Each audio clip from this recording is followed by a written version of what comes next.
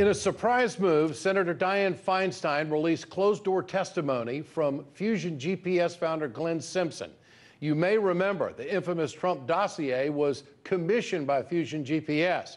During the testimony, Simpson's lawyer revealed someone has already been killed as a result of the anti Trump dossier. The lawyer declined to offer any more information on this death or sources involved in the dossier.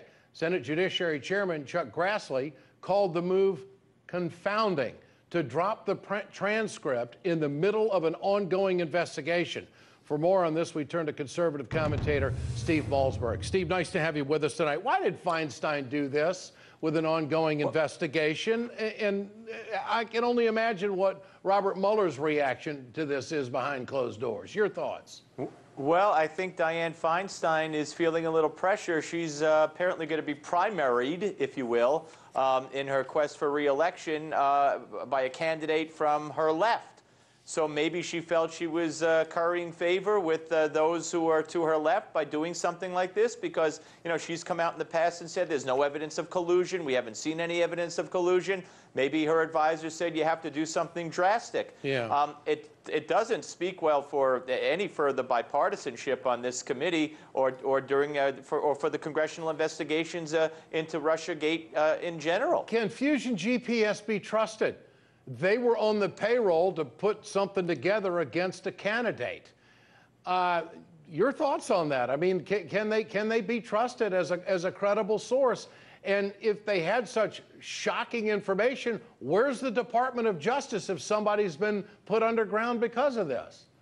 Well, first of all, you know, uh, uh the, the, uh, the, head of Fusion GPS who we're talking about here, Glenn Simpson, uh, saying that uh, Christopher Steele, who wrote the document, the dossier, uh, was so compelled, was so concerned about what was in it, and specifically Trump being blackmailed or possibly being blackmailed by the Russians, that he had to go to the FBI. Well, don't forget, just last week, uh, two Republican uh, committee members, the chairman Grassley and uh, Lindsey Graham, sent a criminal referral to the Justice Department against Christopher Steele for lying to the FBI. I mean, that shouldn't be overlooked in this whatsoever. So, no, I don't think you could trust Fusion GPS, in my opinion. Um, also, uh, uh, uh, Ohr, Bruce Ohr, who just got demoted again at the Justice Department. Why? Because he was in contact with Christopher Steele before the election and after the election, and his wife works yeah. for Fusion GPS, or did. This whole thing just stinks. How do you think the Trump White House is going to respond to this?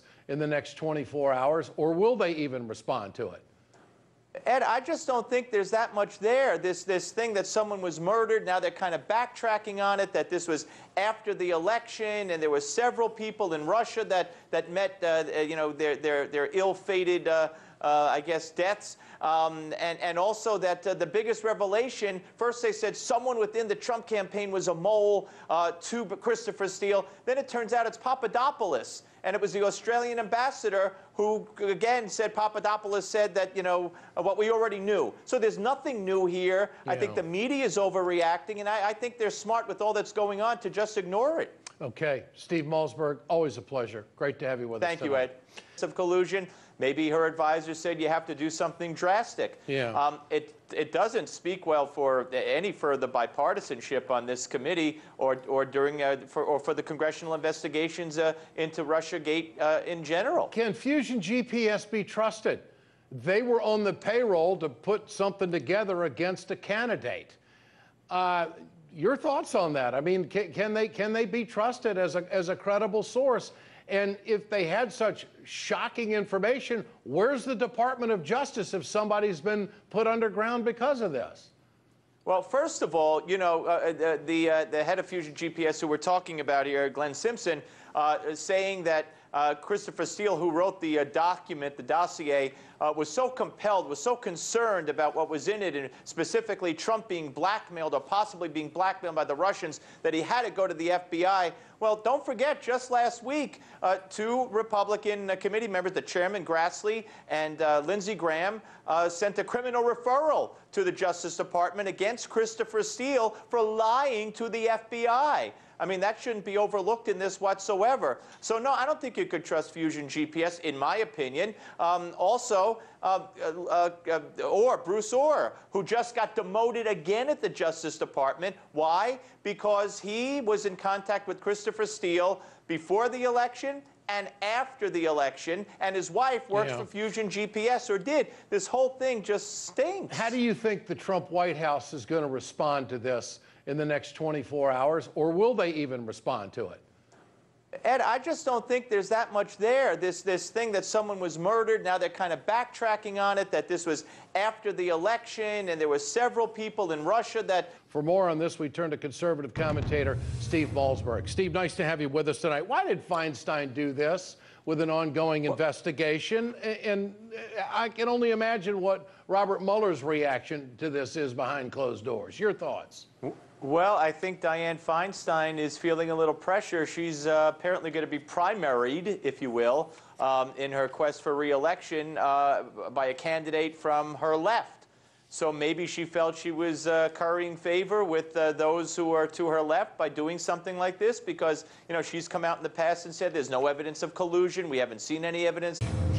In a surprise move, Senator Dianne Feinstein released closed door testimony from Fusion GPS founder Glenn Simpson. You may remember the infamous Trump dossier was commissioned by Fusion GPS. During the testimony, Simpson's lawyer revealed someone has already been killed as a result of the anti Trump dossier. The lawyer declined to offer any more information on this death or sources involved in the dossier. Senate Judiciary Chairman Chuck Grassley called the move confounding to drop the transcript in the middle of an ongoing investigation.